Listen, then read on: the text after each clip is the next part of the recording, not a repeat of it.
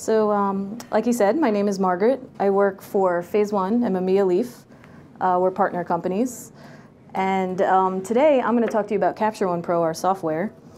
And we've just introduced 8 a little while back, and there's a lot of great new tools and additions to our older tools. So we're getting closer to having almost like a full uh, editing suite option with masking and uh, different local adjustments and tools you can use within local adjustments and things like that. So I want to bring it to everyone's attention so they can become familiar with how Capture One works and it can be, you know, widely spread. Everybody will be able to use it as opposed to just uh, just the professional market and just for tethered shooting and just, you know, we have a lot more to offer and we want everyone to see it because I feel we have the best image quality and processing engine, so you should get the best results from processing with our software. It's mainly a raw converter, that's what it does best. So um, I want to just show you all how it works and see how you feel about 8. Okay, so Capture One 8 now has more options in terms of what mode you can run it in. So we basically have the same download, but depending on your activation key and what mode you choose when you're prompted to when you first install the software. You can run in DB, which is digital back, which is a version we made that's, it's a full version, but only works with digital back files, like our Credos, our phase backs, all, you know. We made it so that those people would have access to the software without having to purchase a key because they obviously have purchased a full system from us. So we have digital back, and then we have Pro, which we always had. We also used to have an Express version, but instead of Express this time, we have an Express for Sony and a Pro for Sony, which focuses on Sony cameras specifically, because we opened up a new option with Sony. So you can tether with their cameras, have file support for their cameras. You know, they're moving into a lot more camera development. So that's kind of where we are with 8. And then you still have the same options as you did in seven in terms of sessions or catalogs. Um, and I was talking about this a little bit in the beginning with you. It gets a little confusing, but we opened up the doors to catalogs in Capture One 7 so people could have that same workflow that they may have had with other programs. Um, so, you know, sessions, I think sessions are great. It's what I'm used to, but I think that's like a per job kind of routine is good with a session.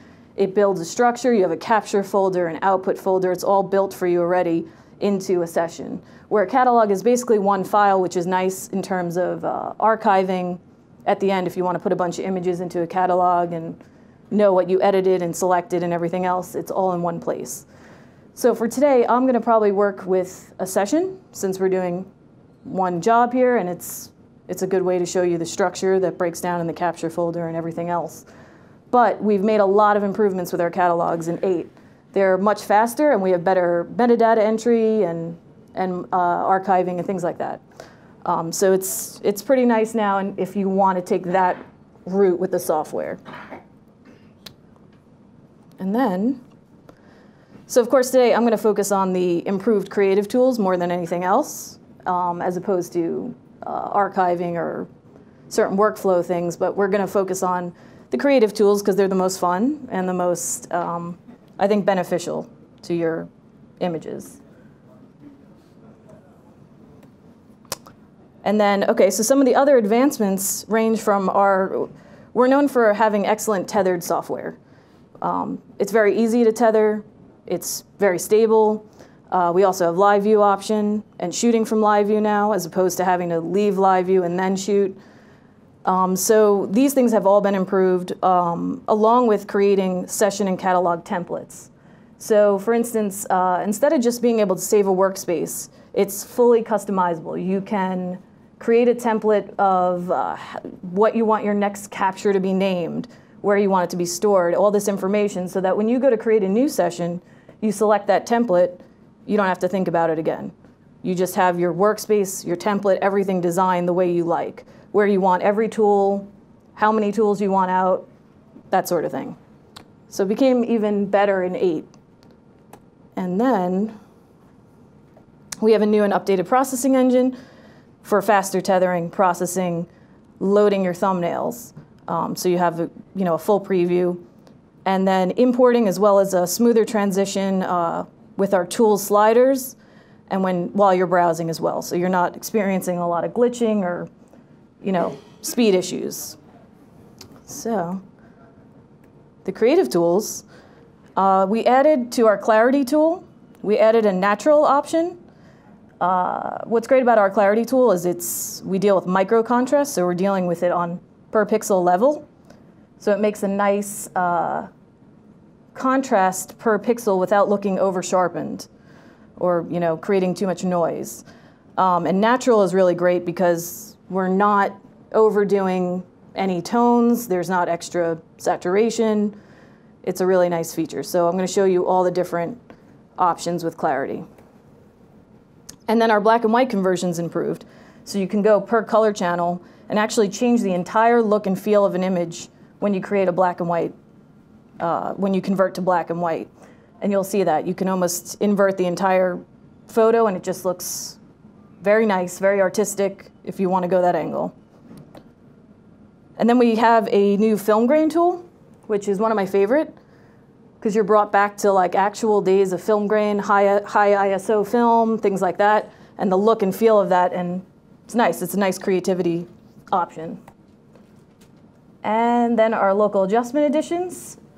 So now within your local adjustment, if you make a mask, you can selectively change the white balance of the mask and the high dynamic range, which wasn't an option earlier um, in 7. We didn't have those two options to selectively work with HDR on only part of the photo. And then obviously our HDR tool has been improved as well. And then we uh, included repair layers for healing and cloning to make it very simple. You'll have an adjustment option, heal or clone, and then your brush will follow through with that. So it's pretty direct on how you're going to use it. And that's great because we didn't have a heal and clone. We only had a spot tool earlier. So this is a nice new like full editing option. So okay, let's see if we can get started here. Okay.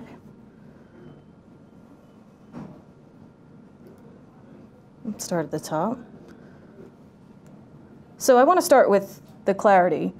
And if you look at this photo, it's actually a little bit soft. Where it's in focus is very minimal at best. So in this case, clarity is going to kind of help sharpen this a little bit without making it look over sharpened or like we're trying to correct a, you know, totally out of focus picture. So I'm going to just select here. Just going to do five because we have five, well, we have four clarity options. And I'm just going to leave the first image on the left as the untouched, unedited file. So let me just scroll in.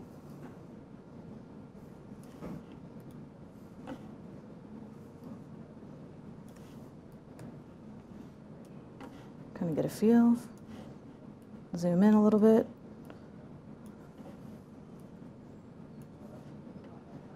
And now on the left-hand side over here, if you look where my cursor is, you're going to see all the tool options. So there's the capture tool, the library tool. Right now I'm in the library tool and you'll see that I'm in a session. I have my capture folder with all my images. And I also have my selects folder, should I choose to move a select item. Uh, my output, if I process to a TIFF, JPEG, DNG, whatever you want, whatever your choice is, JPEG. And then the trash folder, if I decide to delete something. So we're going to actually go to this is the camera tool, which we're not going to work in today. This is for tethering mostly. And this is your exposure tool. So clarity is located under the exposure tool by default. So right now, the first option they give you is natural. So I'm going to apply it just to this image here. And I'm going to go pretty drastic, just so everybody can see. You can see compared to the other one, that we have a bit more sharpening, but even at 100, it's not crazy, but at least we have a little bit of pop in the eyes now, a little sharper eye, um, you know, contrast. If we go to the next option, which is punch, we increase our clarity. You're going to see a lot heavier saturation and obviously big difference in the highlights.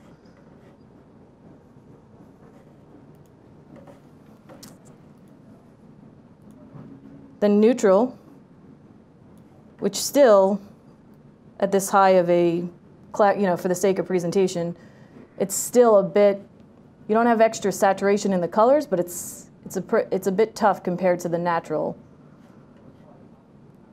And then the last one being classic, which I guess is what we would find in most clarity tools, is, I guess, a little bit over, I would say a little bit over sharpened, whereas our natural one, I think looks pretty soft, even, but still gives you the contrast you want on a very small level without making your image look uh, over sharpened. So if we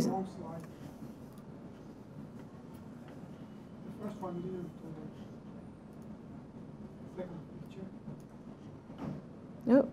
No, this one's at, set at zero. Oh, yes, sorry. So you can see up close, it's a little bit sharper here. But still her skin tone looks a little more natural than these other ones where she looks a little blown out. Obviously, we wouldn't probably wouldn't want to go that far because you're creating kind of a halo effect. But just for the sake of presentation, you can see that things even out while giving you contrast. So it's nice to have the natural option in there just to mix it up a little bit so you're not dealing with oversaturation, over sharpening, uh, things like that. Okay. This next image, this I, I like a lot because we're dealing with black and white conversion and you can do so much with the color channels after you enable your black and white conversion. So I'm going to go to the color tab and you'll see my black and white option is selected. I'm going to just enable black and white. So it just went from, you know, converted from color to black and white. I'll just leave the color one up there as well. And we're just going to move these channels, and you're going to see in the parachute you can make this parachute almost look white or nearly black. Change the shadows, change the entire dynamic of the, the photograph which is quite nice. So let's say you want to just give a standard look right here. I can change this white to almost gray. You can do a lot. You can almost invert the photograph just by moving these color sliders. So that's a nice feature. You're able to work in black and white and really selectively choose tones based on the color channel that was there previously, which is quite nice. And if you zoom in, you don't see any weird noise or gradation or anything going on just because you're moving color sliders when the photograph is black and white. So it's one of my favorite options because you can do totally different look per image. So let's say we take this one, enable black and white, move our sliders a bit. has an entirely different feel. And again, even in the shadows, you still have some detail. So that's a great, I love that tool. It's been played with a lot and made to be pretty perfect now. So the next thing I'm going to talk about is using not just the black and white option to, let's say, create a more interesting photograph, because this is quite standard. Maybe we want to make it look a little artsier, make it look more time oriented, you know, give it an old fashioned look. So let's say we change it to black and white. Again, you can play with these sliders so much. I could bring up the highlights so much, make it look like it's sun is shining on it. Bring in our sky, more dramatic sky, things like that. If you look comparatively to the first one, and I'm just going to try some film grain to see if I can make this look like an older black and white photograph and give this kind of some life because it's pretty standard photo. So we can go to our details option here, this little magnifying glass. If I zoom in, and you'll see in this same box, you'll see the navigator where it shows where I zoomed in, but also focus, sharpening, noise reduction, moire, depending on what you need to do. These are all options under the detail tool. And then our addition of film grain. So if I leave it on fine, it doesn't even give me a chance. Uh, you can change the size of the grain.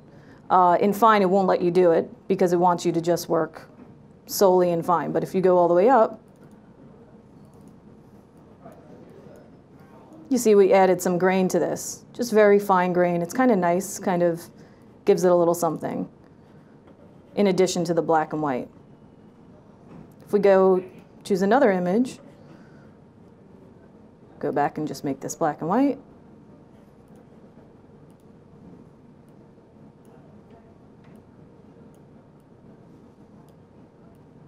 give it the same similar look.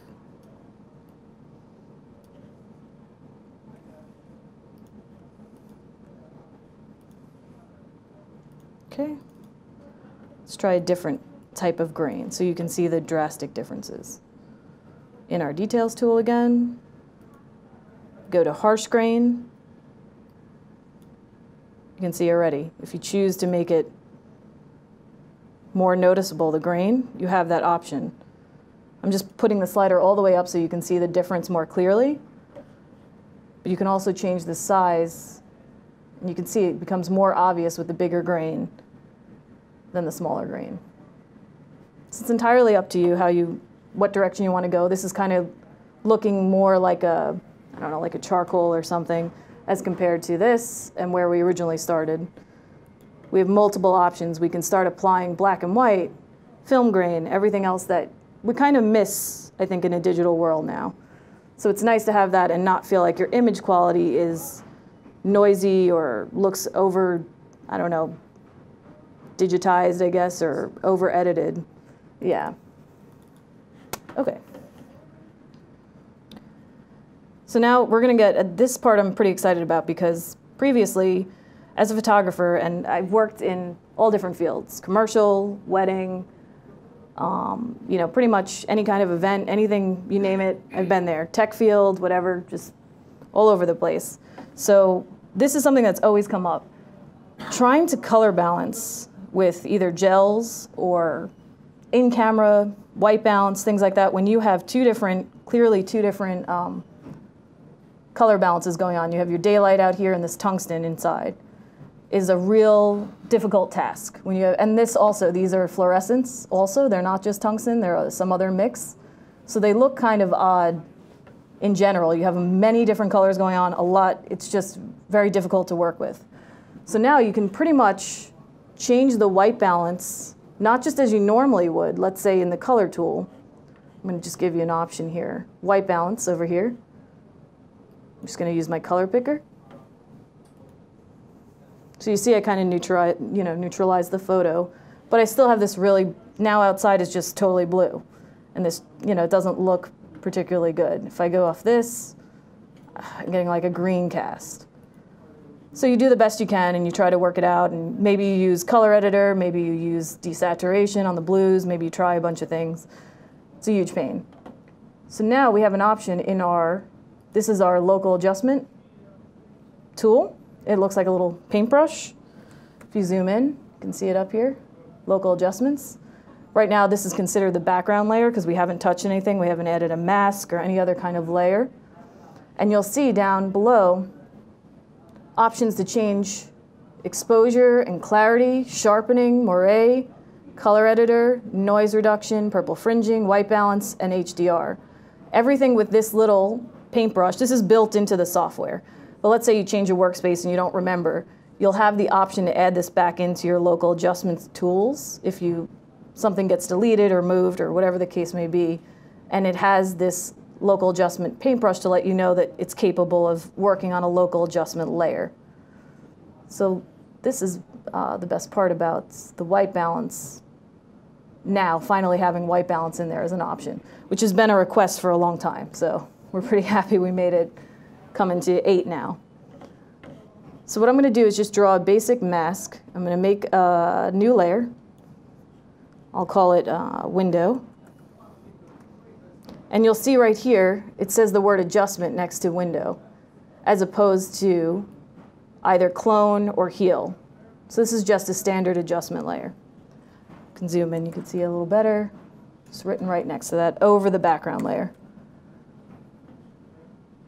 And then I'm just going to take the paintbrush right here and I'm going to just draw. You can erase with the brush if you have to. If you have to go back and fix a mask, you can erase. You could provide a gradient mask, let's say on a sky if you want to clean up the sky. Um, and I always do only display mask when drawing. Um, I prefer it because then when I go to make the local adjustment, I don't have the mask still showing up on the layer to the point where I can't see it. So always display, I never put on. Never display is, I don't really, uh, to be quite honest, I'm not sure why you wouldn't want to see where you were drawing, but um, then there's only display, only display. So I leave that on. And then over here, these little arrows are what let you adjust size, hardness, opacity. And if you're using, let's say, a tablet, uh, you have the pen pressure option, so it, it's sensitive to drawing, you know, freehand.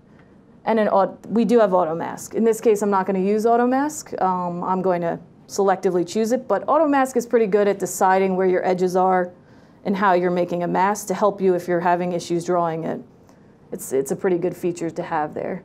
Um, so I'm not going to use that today, but you'll see as you go up, the brush size changes. And as you're looking at that, there's an inner circle, if you notice. That's the radius of the sharpest point of the mask. The outer circle reflects where the feathering is going to end. So you get an idea, a little more idea of what's going on with it. Bring my, I'm to just kind of leave it towards the middle, just for this. And then you can see more's, you know, in the center than it is the outside of it. I know this is not the best mask in the world, but just so you can see. You can obviously do this with a more refined tablet.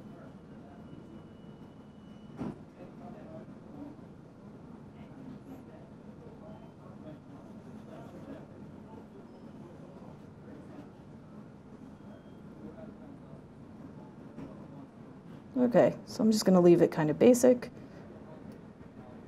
Now the mask disappears. So now when I go to the white balance tool over here, I'm not even going to select because we already kind of selected the overall balance. I'm actually going to look at the Kelvin temperature. So you can see more drastically that it's going very yellow or very blue so we made it warmer, which is a little too much. It's a little green now. Can actually bring a little more magenta in there on the tint. And that looks far better now. Looks more color balanced. We have some daylight, have a more uh, even inside light, what we would normally see. Compare that to the original. You can see there's some drastic, much easier way of color balance, white balancing than playing with too many gels, playing with too much lighting. If you need to go in and do an architectural shoot and you can't have lights and everything all over the place and you can't take that much time, at least you know this is an option. You get your best white balance and then work from there locally without having to go into any other external program. You're working right off a raw file. Um, this is an older raw file. We used to have an extension TIF for our P series backs as an option, but it's not actually a TIFF, it's a raw file but you work right off the raw file without even touching the raw file. These are all just settings applied, and as soon as you process, it creates a file with your settings. So you're never harming your image, never changing anything permanently. It's all being stored separately within the session structure. So that's what's really nice. You can kind of get this done pretty much on set if you had to. Let's say you're shooting tethered. Now you can do this right in front of an art director and they know what, what, you know, what the outcome is, or a magazine or whoever's with you. So I like that one the, almost the best. So the next part, I'm going to work with our new healing options. And when you create a new layer, you can do new heal layer. It's the best way to work with this. And let's say I want to remove, I, I think maybe the best thing to remove is you know, some of the Taurus here in the background. It's not bad, but I don't really want them there. They're kind of look like weird dots there and I'm going to take them out. So now you can do this like just pre-processing, which is nice because you don't have to mess with any of the quality or create all these extra layers that you have to worry about how much they're degrading the image and so forth. So I'll do this, I'll call this people, this layer. I'm Just going to zoom in. See these people over here. And again, we have to select our brush, same deal. Right local adjustments. Select our size, which by the way, you can also control click or right click and change the brush size right here. I mean, just to make this kind of easier, I'm just going to kind of bring up the, the hardness a little. And the way it works with Capture One is you start drawing your mask. Capture One then decides a point to choose that you want to use to pull from to heal, to kind of mesh over these people and make it blend with the surrounding area. But you're free to change it after they choose it. So, say I draw this. It chose the sky for some very odd reason. But if I move this, I get to kind of choose this selection point myself, and it's going to move it over and cover those that person up. Eventually that then goes away. This automatically goes away. It's just until I scroll back over, if you notice.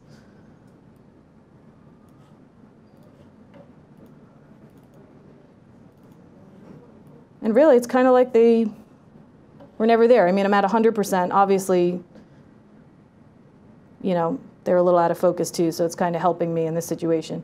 But just so you can see, they're pretty much out of there with really no crazy amount of time or effort.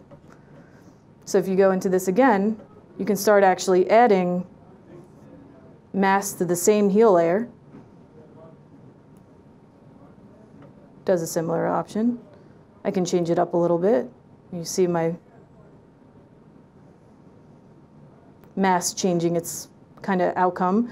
And it'll, it'll be very obvious. It'll move. I mean, it's hard to kind of see, I think, here. But do you see those two, those little masked areas kind of moving? And they look very obvious. And then they blend pretty well after you let go of the mouse. So that's kind of nice to have in there. You can do that on all these people. Nope.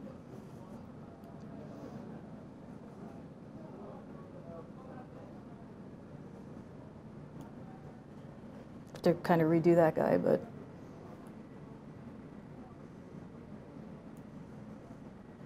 So same idea, pretty easy. You might have to go back in a little bit, but for the sake of presentation, you can see how quickly four little areas were removed.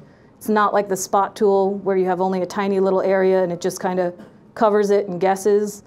We have an option now to really work with heal and clone and all the things you kind of become familiar with as you edit in photography.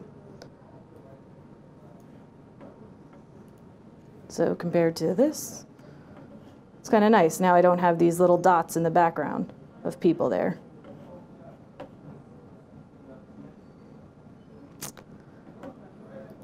And then we'll move on to the clone tool. So you can see both options for layers. And I have this kind of wire here. Now, a lot of people would say, okay, I can crop this out, I can kind of paint over it a little bit. I can do whatever, but I don't want to lose these little areas, these little peaks of the mountain or anything like that. In addition, I also have this very dark area in front, which the HDR tool would generally help. I can bring up the shadows without affecting anything else, and hopefully it'll, it'll work out. But in this case, I chose this image because using the HDR tool over this entire image creates problems in the highlights and other areas as you go. You can't get as much shadow detail as you'd like. So we're going to do a selection to uh, selectively choose out areas for HDR and also clone at the same time because you're probably going to have to do more than one on you know most images. So we want to see kind of how it builds. So here in the adjustments tab where the HDR tool is, the exposure tab, you can bring up the shadows. But it's kind of, I still have problems down in the lower left-hand corner. I brought up a lot of this. Maybe it's okay, maybe it's not. I'm at 100% right now, and I'm kind of not happy with that situation. So I'm going to just do it a little bit, do what I like. I don't need the highlight slider because we're not really, there's nothing here I need to bring back in terms of highlights. So I'm going to leave that for now. And I'm going to go to my local adjustments and take care of this, this wire in the meantime. So in this case, the clone is a good idea. And I know we all kind of choose back and forth. Are we going to use a healing option? Are we going to use a cloning option? What works? Everybody has different ways of feathering and, and so forth. So you get both options here. But this is good for clone because you just have kind of a blue, even spot here. You can just clone very easily. So we'll just write wire. And again, we have to do our mask.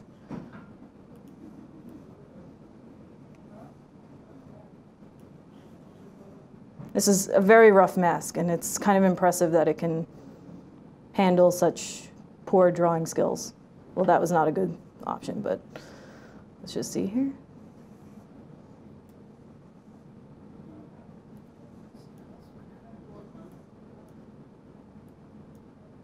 I'm just going to choose a better selection point. Okay.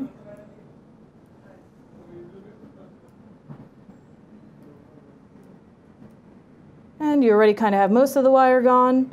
In this case, for whatever reason, it wouldn't, I, I don't think my mask was completed correctly, so I'm going to do another clone layer just to make it easy.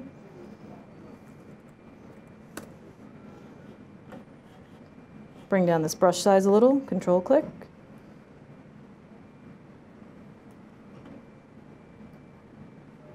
Mask. Keeps pulling from kind of a much brighter area. Just, sorry.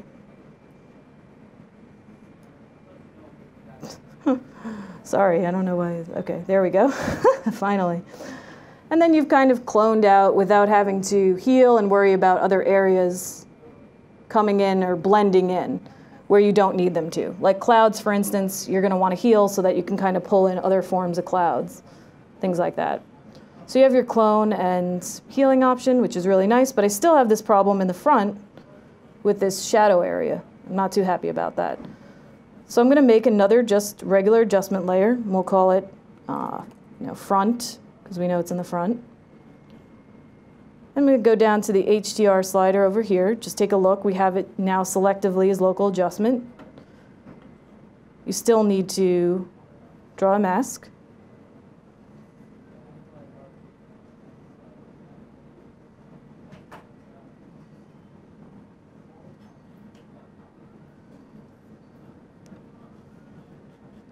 I know it's kind of a very poor mask, but just to see. Now it disappears, so when I go to this slider down here on the left-hand side and open up my shadows, you'll see I'll get a little more depth in here as compared to before.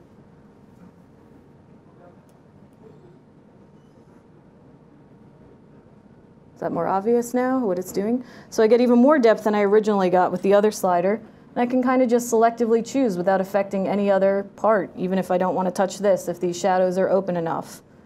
So it's kind of a nice feature now, rather than having to do it on the entire shadow area or highlight area. So then I took an image here.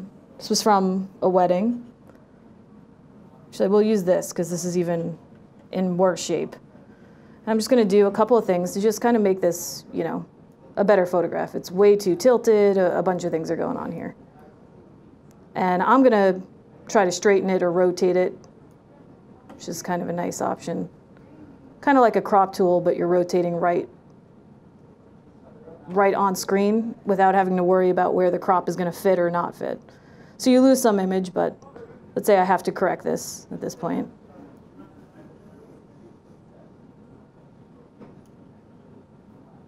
Hit that to just get that off that screen.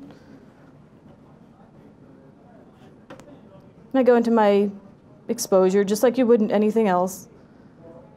I still have my clouds are still pretty out.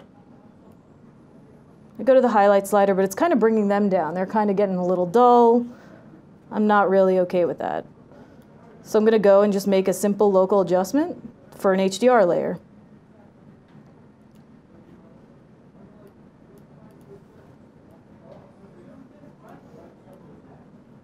Just very quickly.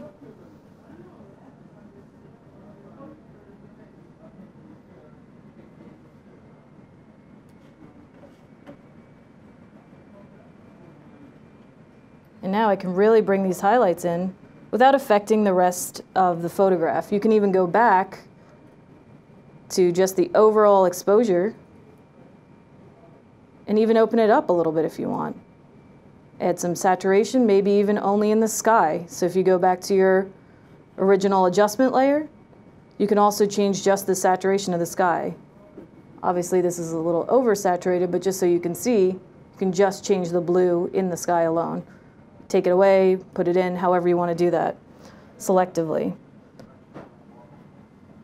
Those are probably the primary creative tools um, I would say are the most beneficial right now to move forward without having to go into another program. You can really spot things out, edit things out, and so forth. Whether you're a hobbyist or a professional, B&H has the answers to your questions. Experience a world of technology at our New York City Superstore. Connect with us online or give us a call. Our staff of experts is happy to help.